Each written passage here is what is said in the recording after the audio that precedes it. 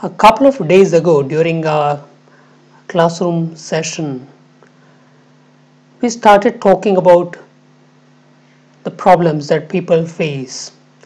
And somebody asked me, Is there any panacea to solve all the problems? How to be happy in any situation? And off the cuff, I told my students there are two things that we can keep in mind, two premises or two formulae. Using them, we can make our life happier. So the first is so what?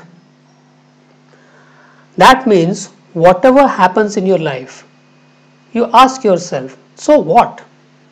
For example, if your result is not good, so what? You will not get admission to your desired college. So what?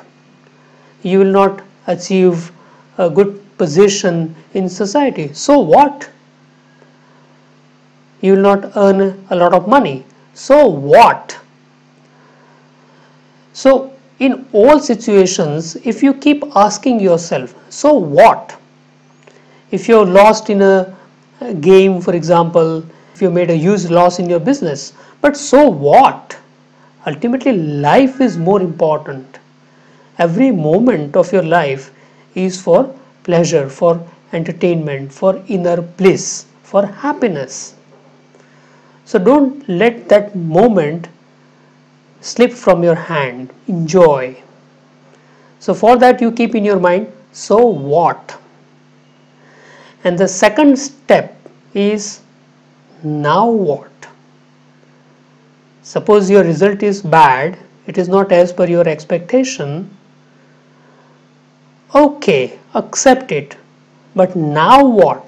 So that next time it becomes better.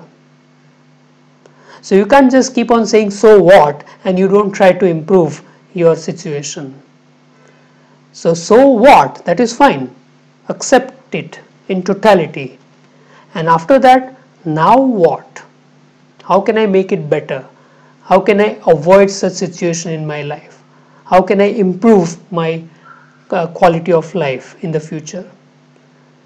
So these two principles if you keep in your mind first so what in any situation? And second is now what? Both these things are in your hand in your control. So have a happy life. Thank you very much. I am Dharmendra Sheth from Surat.